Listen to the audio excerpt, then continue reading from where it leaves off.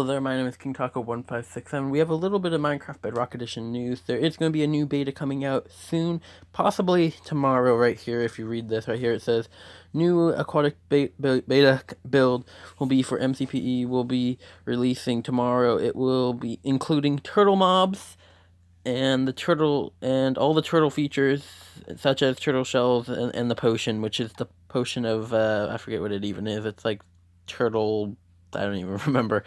And let me retweet that really quick. Um, so that's about it. The thing, there's another beta build, another Minecraft beta coming tomorrow, possibly. Possibly. I'm just gonna say possibly. Tomorrow, most likely tomorrow. So look out for that, and I'll probably have a video tomorrow on that. And that's about it. And peace. I think.